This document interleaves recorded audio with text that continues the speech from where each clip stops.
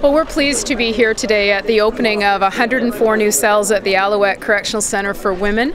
Uh, it's an important part of our expansion of corrections facilities uh, across the province, $185 million in total in this phase. Uh, the Alouette uh, part is a 43 and a half roughly million dollar investment, but what's important is that this facility is uh, designed to ensure that our staff are safe and the inmates uh, have the support services that they require. I'm very excited today to see the secure building finally opening. The main reason for my excitement is the huge benefits this new building will have for staff. We've also been working very hard on the design over the past few years. We wanted to design it so that it was truly a safe and secure working environment.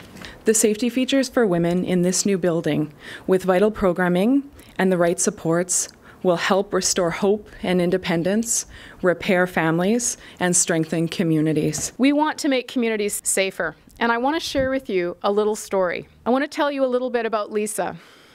Lisa was a drug addict and a trafficker living in the downtown east side.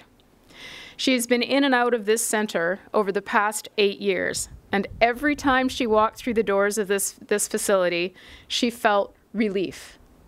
Because in her words, I was off the street, I was safe, I was clean. Each time she stayed here, she took part in the programs offered and was able to learn something more about herself. Lisa has now been living in the community for a year. And a few months ago, she saw a card in a store that reminded her of the staff here at Alouette.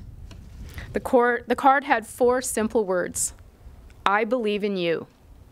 Lisa sent that card to the staff. In it, she wrote these words You never gave up on me, even when I did. Thank you all for encouraging me. She says staff here, and I quote, always saw something that I didn't see in myself, and that is who I have become today. A trustworthy, hardworking, loving, and compassionate member of society. Know that your jobs can and do save lives.